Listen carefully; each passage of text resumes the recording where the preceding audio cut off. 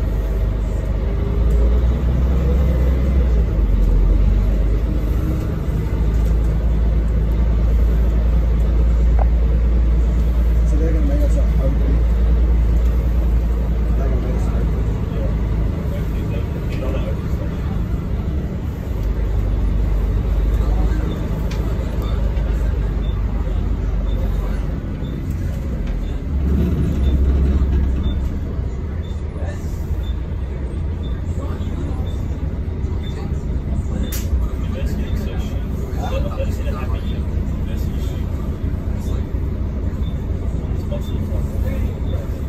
got a doctor's appointment tomorrow. so Uh, we're moving.